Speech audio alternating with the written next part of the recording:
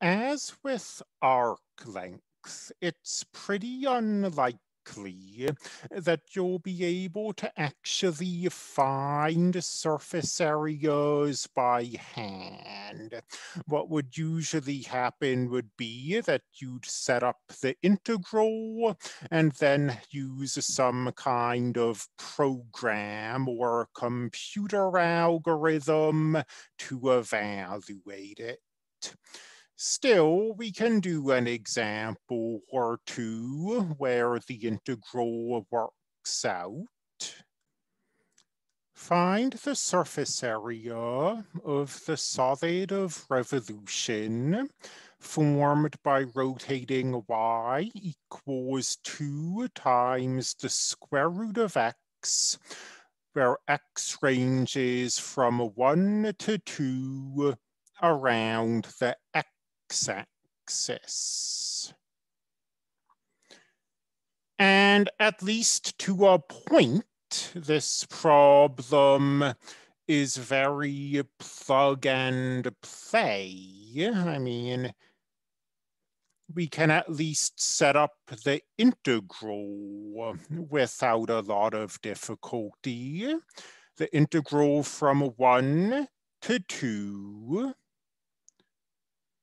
of 2 pi, that's always there, times 2 the square root of x,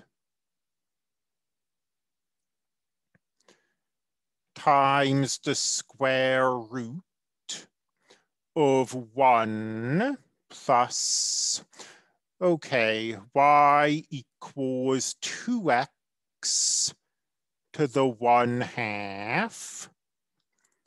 Y prime then is x to the negative one half.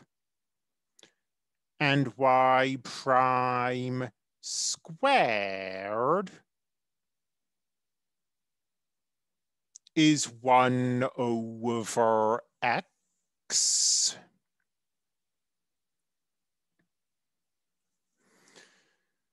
the issue is that it's not necessarily obvious where to go from here.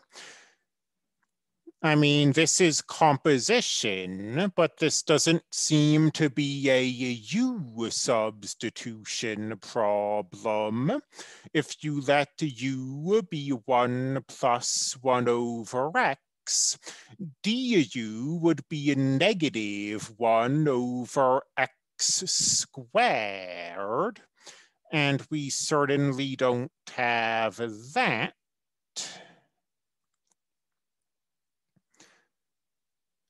Maybe we can try to do something with the fact that we have two square roots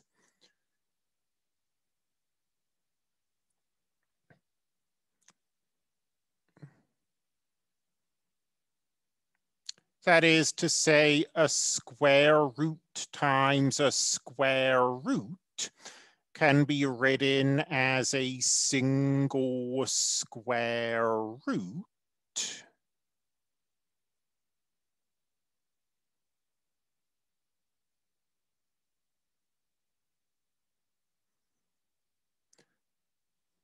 But does that help anything? Well, as a matter of fact, it does. We can, let's finally go ahead and do the obvious. Two times two is four. We can simplify this as x plus 1. And now, this happens to be an integral we can take. I mean, as with the arc length, this problem was pretty clearly specifically written so that the integral would work out nicely. And the reason we can take this integral, its composition, so if we can take it, it should be using u substitution. Well, if u equals x plus 1, that's so simple that du equals dx.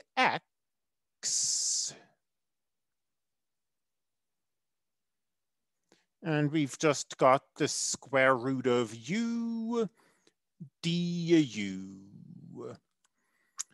If x equals 1, u equals 1 plus 1 or 2. If x equals 2, u equals 2 plus 1 or 3. So let's see, this is u to the 1 half. So we'll bump that up to 3 halves, but we'll divide by 3 halves, which is the same as multiplying by 2 thirds. And there's a four and a pi there as well.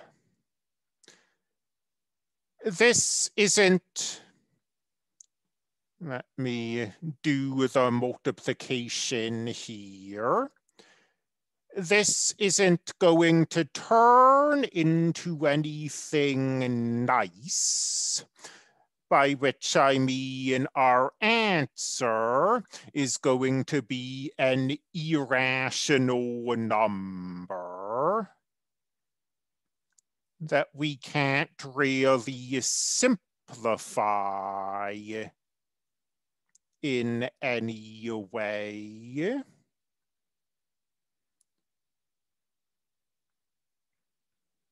We could put this into a calculator calculator if we wanted. Let me pause and do that. I'm a big fan of getting decimal approximations. You could leave your answer this way if you preferred to. It's just from my point of view, calculus is a very applied field of mathematics. And in basically any kind of application, you're going to need a decimal. Like if you're, I don't know, gold plating this object you can't order this many square inches of material. You'd need to have some idea what this was as a decimal for it to be any help.